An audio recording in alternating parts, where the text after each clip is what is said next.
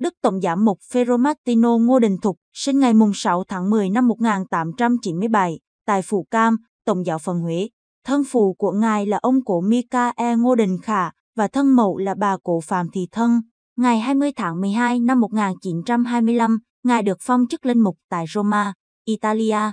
Ngày 8 tháng 1 năm 1938, Tòa Thánh bổ nhiệm ngài làm giám mục, giám quản giáo phận Vĩnh Long.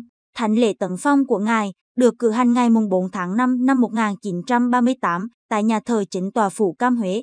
Ngày 12 tháng 4 năm 1961, ngài được bổ nhiệm chức Tổng giám mục Tổng giáo phận Huế. Năm 1963, ngài sang Roma dự công đồng Vatican II và ngày 13 tháng 12 năm 1984, ngài qua đời tại Hoa Kỳ, hưởng thọ 87 tuổi với 46 năm làm giám mục.